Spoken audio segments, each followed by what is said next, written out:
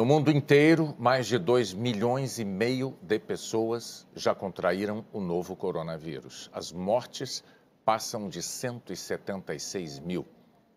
É mais gente do que a população de Itu, em São Paulo, ou de Palhoça, em Santa Catarina. É como se todos os moradores de Valparaíso de Goiás morressem. E apesar disso, ainda há quem não tenha se convencido do perigo que essa pandemia representa. Por isso, essa edição do Jornal Nacional começa com o que está acontecendo na capital do estado do Amazonas, onde a média diária de enterros triplicou. Cemitério do Tarumã, zona oeste de Manaus. Aqui, sete caixões foram colocados lado a lado em uma vala comum. Neles estão pessoas mortas pela Covid-19. Um trator joga terra e cobre os caixões. Termina o sepultamento. Agora, os enterros dos cemitérios públicos em Manaus são assim, coletivos, mesmo para as pessoas que não morreram por causa da doença. Segundo a prefeitura, a medida é para evitar a propagação do novo coronavírus e também por causa do aumento de registros de óbitos. A Anne não pôde acompanhar o enterro do tio, que teve morte natural, mas parentes registraram a cerimônia. As informações que nós recebemos que se morreram por vírus, entrava somente três pessoas, né? Se fosse por morte natural, apenas cinco pessoas. Uma situação caótica ao cemitério, né? Eles estão fazendo valas, né? E botando caixões. Eles esperam acumular cinco caixões até enterrar, jogar o barro em cima.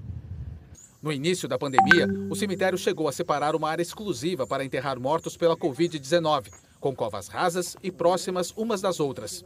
Mas agora, filas de carros funerários aguardam todos os dias a vez para sepultar os corpos, que são aguardados em câmaras frigoríficas por causa da superlotação. Nem o meu pai não teve como ver a própria esposa que viveu anos e anos com ele, entendeu? Então isso é, é, é dor para qualquer família. De acordo com a prefeitura, a média de enterros em Manaus é de 30 por dia, mas na última semana subiu para cerca de 80, chegando a mais de 100 no domingo. A prefeitura disse que o crescimento foi registrado com o início da pandemia. O prefeito Arthur Virgílio, PSDB, abriu um gabinete de crise para lidar com esse aumento e disse que o sistema funerário também está entrando em colapso. Nós abrimos o gabinete de crise porque vimos uma crise que tinha um tamanho mundial e o caos funerário está aí. É a falência também do, do sistema de atendimento, graças ao enfraquecimento que se verificou e que é, é, é, parece um processo assim de difícil reversibilidade. A situação nos hospitais de Manaus também continua no limite. Em todo o estado, já são 2.270 casos de Covid-19 e 193 mortes. Mas o próprio governo estadual já admitiu que existe subnotificação.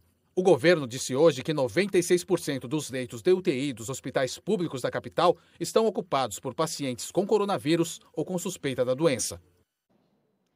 A Covid-19 reserva essa dor adicional para quem perde um parente ou um amigo, as normas sanitárias que controlam os enterros.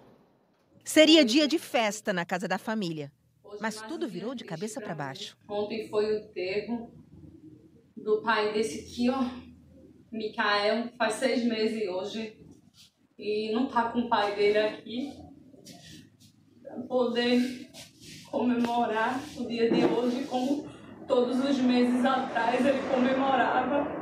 Oito dias antes de morrer, Isaac, 37 anos, gravou esse vídeo. Eu venho aqui fazer um apelo para vocês que fiquem em casa. Coronavírus é um vírus real. Esse negócio aí de dizer que só vai pegar velhinho, só vai pegar. Isso é história. Eu sou exemplo. As pessoas, ah, mas não mata não. É. Não mata o quê, rapaz? Se cuida não pra tu ver. É cinco dias que eu tô aqui morrendo de dor pelo corpo todo. Certo? Dor de cabeça, é, vontade de vomitar. Entendesse? Isolado. No último sábado, ele morreu no hospital da região metropolitana do Recife. O enterro quase sem testemunhas. Sozinho no cemitério, sem minha família, sem ninguém para me apoiar. É muito triste. Eu vim enterrando meu esposo enterrando o cachorro dele sozinha, sem ninguém. Os enterros das vítimas da Covid-19 seguem as normas da vigilância sanitária. No máximo, 10 pessoas podem acompanhar, desde que mantenham distância entre elas. O caixão tem que permanecer lacrado. Não pode haver velório. E não é permitida a presença de crianças, idosos, grávidas, nem pessoas com doenças crônicas.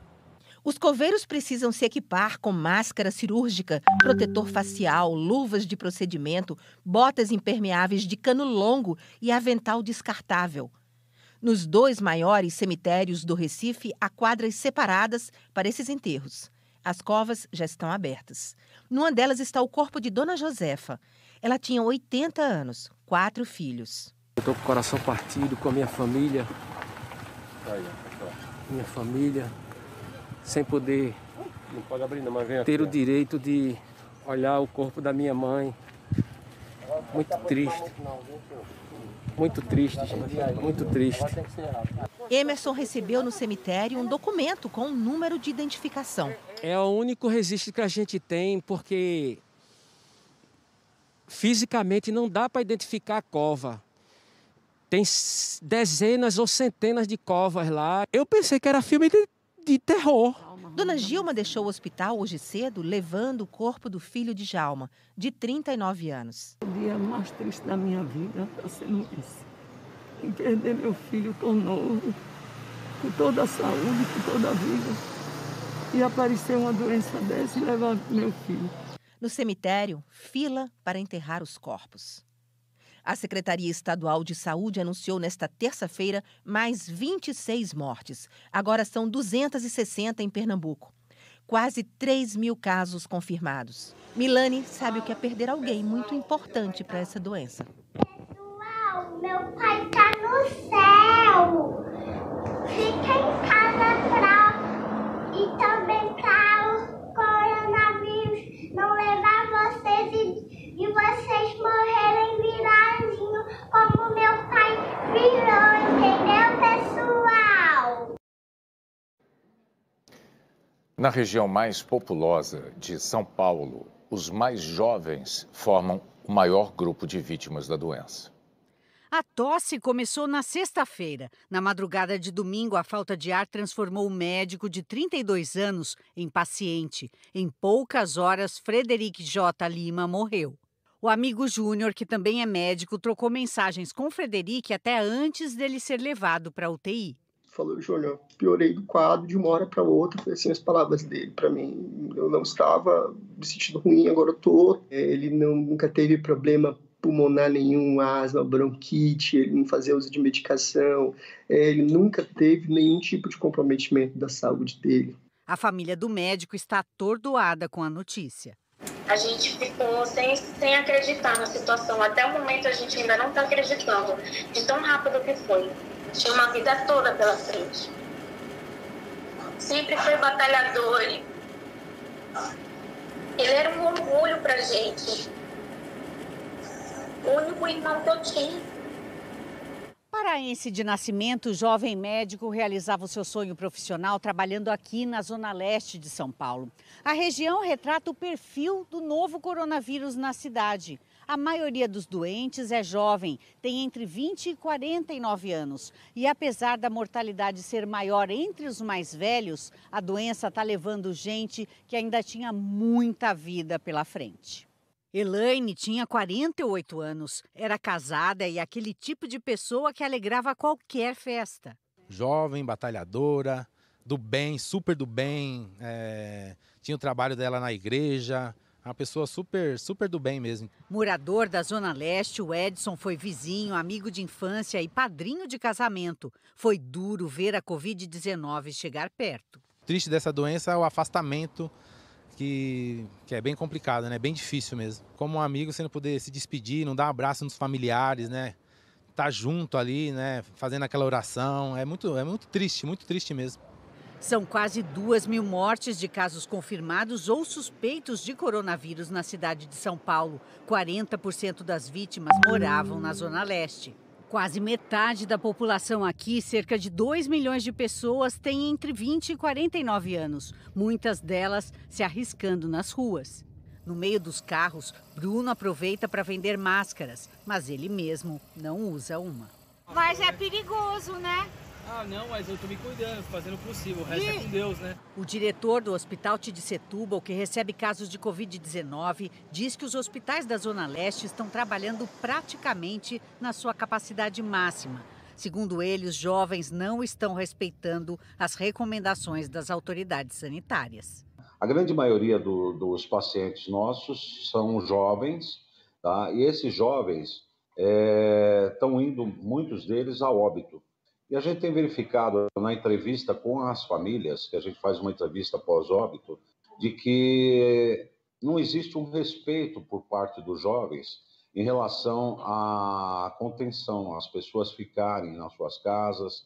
Na frente do hospital, a aflição dos parentes. A irmã da Nerise tem 35 anos, veio dar luz numa cesariana e já está há 19 dias internada com a Covid-19.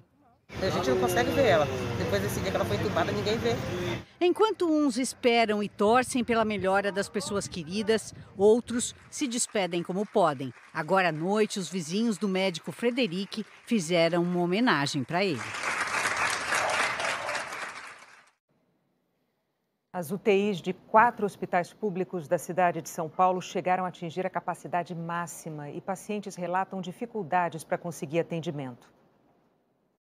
Valdemar Conceição Gonçalves tinha 49 anos e morava em Perus, na zona norte de São Paulo. Com problemas respiratórios, ele precisou de uma UTI e acabou sendo levado para o Hospital Municipal de Parelheiros, na Zona Sul, a 63 quilômetros de onde morava. Eles te explicaram por que ele veio para cá? Não, mas eu creio que foi falta mesmo de leito para UTI, que o caso dele foi grave, tanto que ele já veio com o ventilador entubado. Valdemar morreu no último domingo ele tinha um bar, ele trabalhava nesse bar. Aí com a proibição né, dos lugares públicos ficarem abertos, ele deixava a porta fechada com as pessoas dentro. Talvez seja por isso que ele se contaminou. Não acreditou, talvez, na doença. Sim, né? Falta de cuidado. No estado de São Paulo, a taxa média de ocupação dos leitos de UTI é de 60%. Na região metropolitana, o índice sobe para 80%. Na capital está em 73%, mas em quatro hospitais públicos as UTIs operam no limite máximo ou muito perto do limite. Além de Parelheiros, o Instituto de Infectologia Emílio Ribas, na região oeste, e dois hospitais municipais em Cidade Tiradentes e Itaquera, na zona leste. Para tentar diminuir esse quadro, a Secretaria Municipal da Saúde vai mudar o protocolo do atendimento para quem tem sintomas leves da doença e que geralmente é orientado a ir para casa.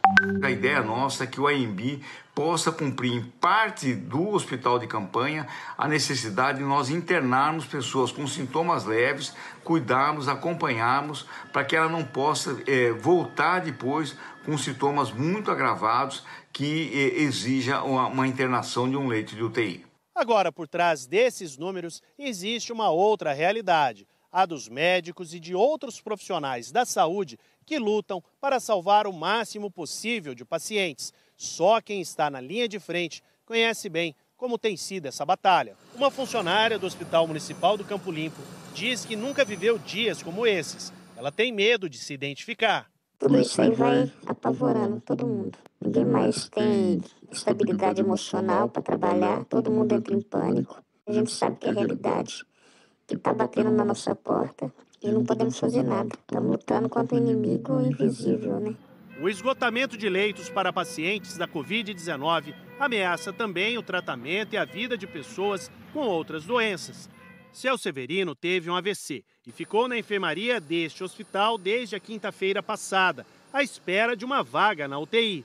A prefeitura conseguiu um leito em outro hospital, mas ele morreu logo depois de ser transferido. Lá no hospital do Embemimi, ele não chegou nem a, a ir para o quarto, a ter internação, porque ele já saiu da ambulância já em estado grave de emergência.